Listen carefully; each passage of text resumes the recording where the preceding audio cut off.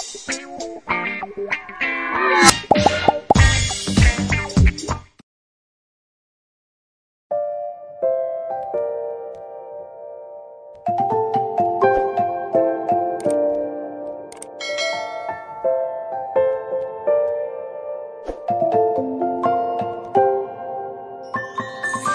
many places still undiscovered, but you're stuck in